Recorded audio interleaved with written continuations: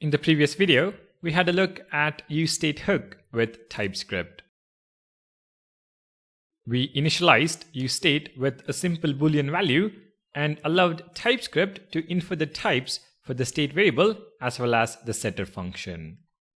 In this video, let's take a look at typing the useState hook when the initial value is only known at a future point in time. For this example, I have created another file inside the state folder. The file name is user.tsx. Let me go over this user component code. In the JSX, we have two buttons, login and logout, whose handlers are to be defined once again. We also have div tags, which are supposed to render the logged in user's name and email address. Above the component, I have defined the type of the logged in user. It is an object with name and email as properties. Within the component, I have also invoked the useState hook. User is the state variable and setUser is the setter function. Let us now finish this component and understand how to make it work with TypeScript. When a user visits our website, they are not logged in by default. When that is the case, a very common thing to do is initialize useState with null. Let's do the same. We should also set the user state to null when the user logs out. So in the handle logout function, we call setUser passing in null. So far, so good. Let's now define the login handler. When the user clicks on the login button, we want to set the name and email properties. Of course, those values would be provided by the user, but for our example, let's hardcode it. So within handle login, we're going to call set user and we pass in an object. The object will contain name set to Vishwas and email set to vishwas at example.com. But as soon as we do that, TypeScript is going to complain. Argument of type name colon string email colon string is not assignable to parameter of type set state action of null. So what has happened here is that TypeScript has inferred the type of user to be null because of the initial value that we have specified. So now, when we try to assign a user object of type auth user, TypeScript is not happy.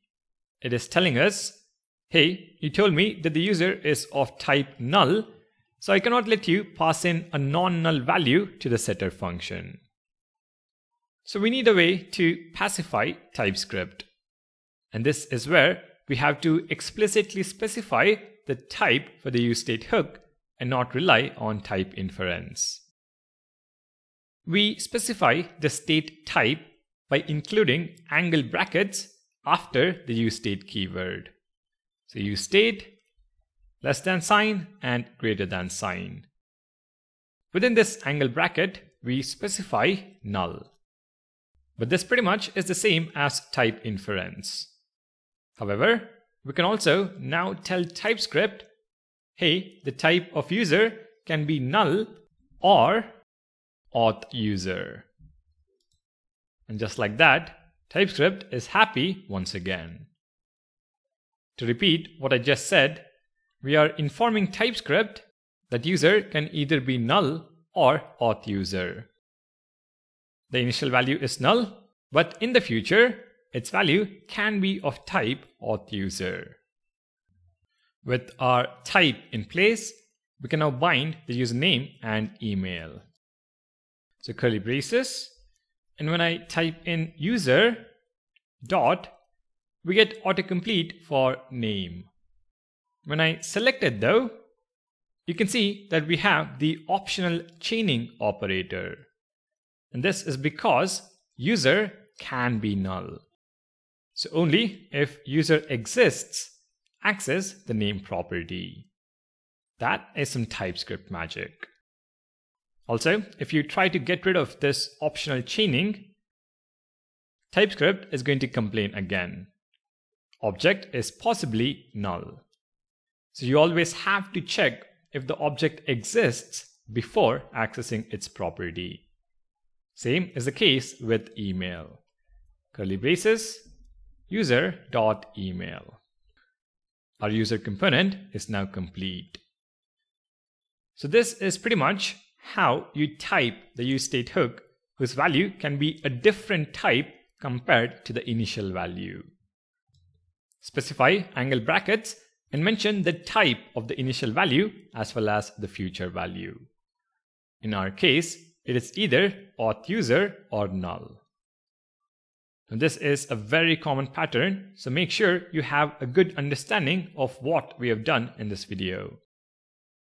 Thank you all for watching, and if you're enjoying the content, please make sure to hit the like button and subscribe to the channel.